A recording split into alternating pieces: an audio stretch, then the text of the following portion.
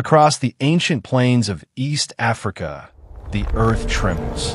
A storm of dust sweeps through the golden grass, and lightning splits the sky open like a wound. From the haze, a herd of antelope bursts into flight, their panic echoing through time itself.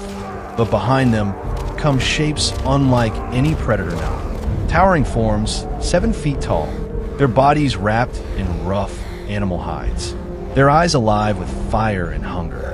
The forgotten giants of our kind, Homo erectus. They run not with chaos, but with the rhythm of the hunt, feet striking the dust like thunder, each breath a roar of survival.